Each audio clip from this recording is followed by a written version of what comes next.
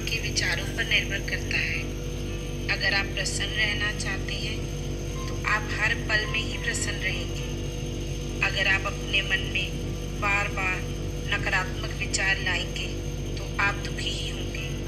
विचार ही हर व्यक्ति का शत्रु और मित्र होता है। श्री कृष्ण कहते हैं, किसी के साथ चलने से कि सिर्फ़ प्रिया प्रीतम भजन भगवत प्राप्ति।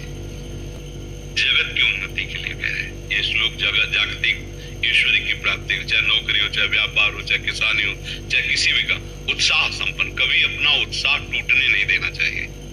वो तभी नहीं टूटेगा जब भगवान का आश्रय होगा।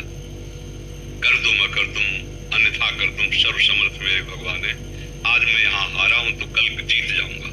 उत्साह तभी आपका संपन्न रहेगा। में अपने को कभी निराश नहीं होने देना, कभी टूटने नहीं देना, कभी हारने नहीं देना, क्योंकि कभी सब होता है, कभी अनुकूलता आती कभी प्रतिकूलता आती कभी जय आती कभी पराजय आती है। ये द्वंद चलते रहेंगे, चाहे कोई भी सबके जीवन में आते हैं। पर हमें उत्साह संपन्न बनना है। इसके लिए भगवत आश्रय, अंदर से चलना चाहिए हरि शरणम हे भगवान, मैं आपकी शरण में हूँ। तभी आप इस लोक में उन्नति प्राप्त कर सकते हैं उत्साह संपन्न हो सकते नहीं तो उत्साह विजय में दिखाई देती है, अनुकूलता में दिखाई देती है, हार में कहा उत्साह दिखाई सब निराश हो जाते हैं। लेकिन वही शूरवीर है जो हार में भी निराशा ना आने दे और किसी भी कार्य को आगे के लिए न डाले। दीर्घ सूत्री न बने।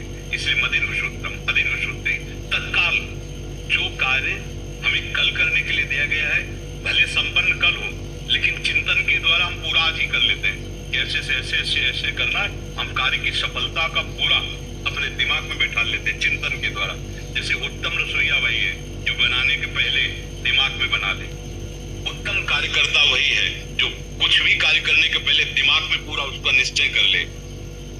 ऐसी ही मदिर सूत्रम किसी कार्य को आगे डाले ना। अगर संसार में उन्नति प्राप्त करनी, हमें परीक्षा एक महीने बाद देनी है लेकिन आज ही प्रश्न कर लिया जाए तो उसका उत्तर हम दे देंगे। ऐसी तैयारी रखनी चाहिए। कल के कार्य को आज ही संपन्न करने की वृत्ति रखना है। क्रिया विधि विधिज्ञम जिस कार्य में लगे, उसको विधान से करें। मनमानी नहीं। चाहे वो पढ़ाई हो, चाहे वो व्यापार हो, चाहे वो किसानी हो अलग अलग विधान होते हैं ना। व्यापार का अलग विधान होता है, नौकरी का अलग विधान होता है। अलग अलग जो विधान है, जो सिस्टम है बिल्कुल ठीक उसके अनुसार आपको ज्ञान होना है। क्रिया विधिज्ञम।